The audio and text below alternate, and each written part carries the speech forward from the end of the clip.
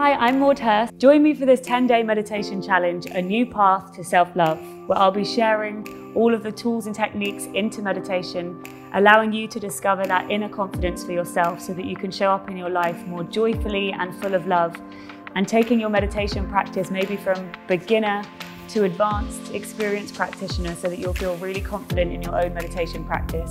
Join us at wltv.co forward slash challenge. I will see you there.